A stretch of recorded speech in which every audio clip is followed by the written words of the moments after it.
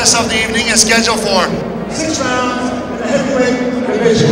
The referee, once again, Eddie Johnson.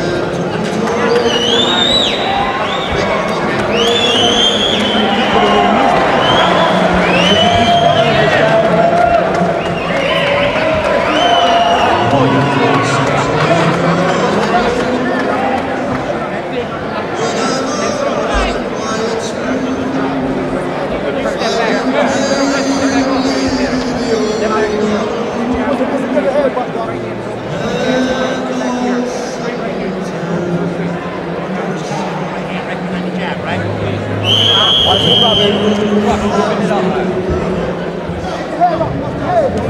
you.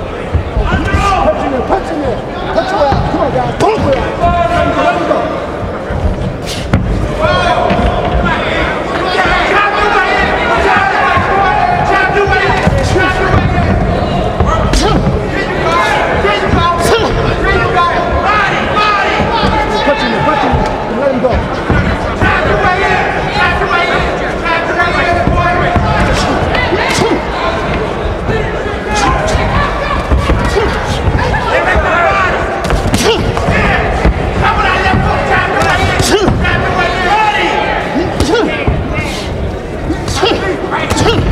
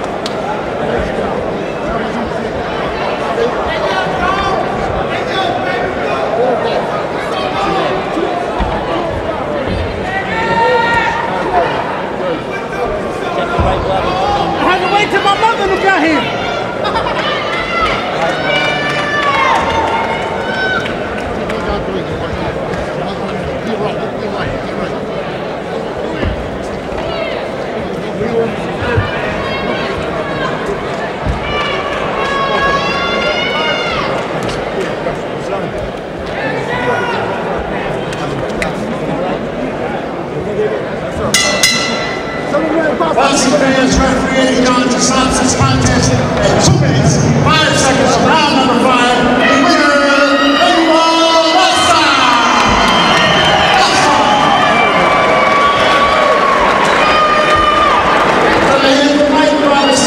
The winner Mike Robinson.